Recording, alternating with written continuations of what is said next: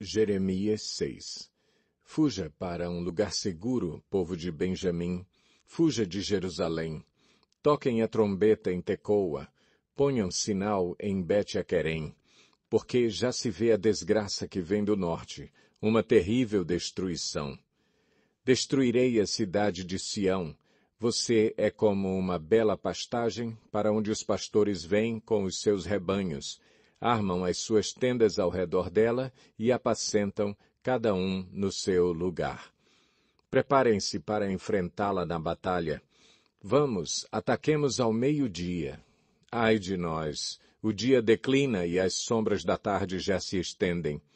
Vamos, ataquemos de noite, destruamos as suas fortalezas. Assim diz o Senhor dos Exércitos.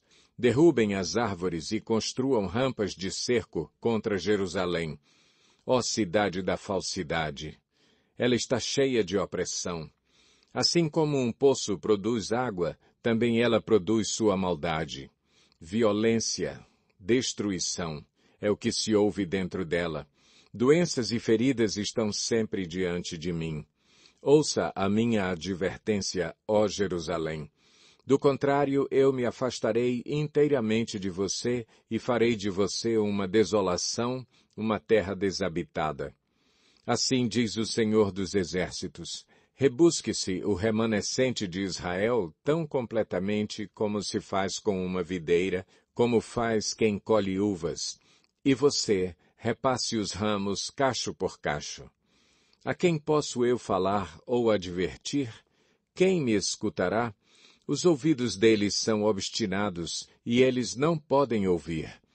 A palavra do Senhor é para eles desprezível, não encontram nela motivo de prazer. Mas a ira do Senhor dentro de mim transborda, já não posso retê-la. Derrama-a sobre as crianças na rua e sobre os jovens reunidos em grupos pois eles também serão pegos com os maridos e as mulheres, os velhos e os de idade bem avançada. As casas deles serão entregues a outros, com os seus campos e as suas mulheres, quando eu estender a minha mão contra os que vivem nesta terra, declara o Senhor.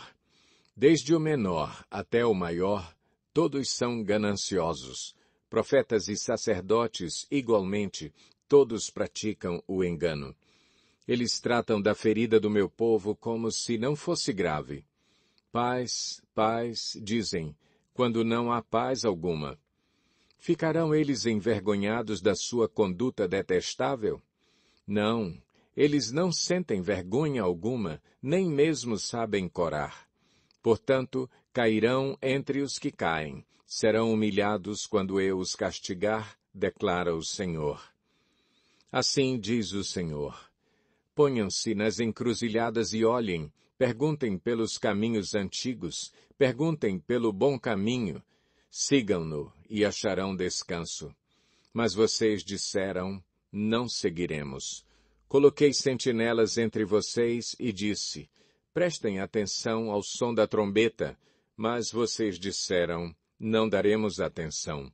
Vejam, ó nações, observe, ó Assembleia, o que acontecerá a eles. Ouça, ó terra, trarei desgraça sobre este povo, o fruto das suas maquinações, porque não deram atenção às minhas palavras e rejeitaram a minha lei. De que me serve o incenso trazido de Sabá, ou o cálamo aromático de uma terra distante? Os seus holocaustos não são aceitáveis, nem me agradam as suas ofertas. Assim diz o Senhor, estou colocando obstáculos diante deste povo. Pais e filhos tropeçarão neles, vizinhos e amigos perecerão. Assim diz o Senhor. Veja, um exército vem do norte, uma grande nação está sendo mobilizada desde os confins da terra. Eles empunham o arco e a lança. São cruéis e não têm misericórdia, e o barulho que fazem é como o bramido do mar. Vêm montando os seus cavalos em formação de batalha para atacá-la, ó cidade de Sião. Ouvimos os relatos sobre eles, e as nossas mãos amoleceram.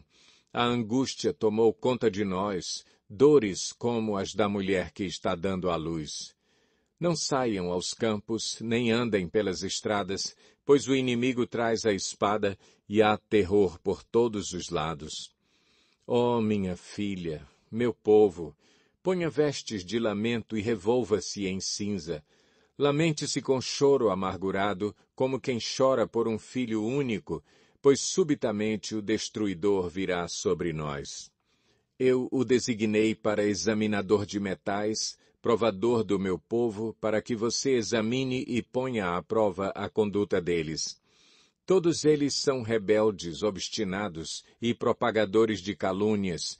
Estão endurecidos como o bronze e o ferro. Todos eles são corruptos. O fole sopra com força para separar o chumbo com o fogo, mas o refino prossegue em vão.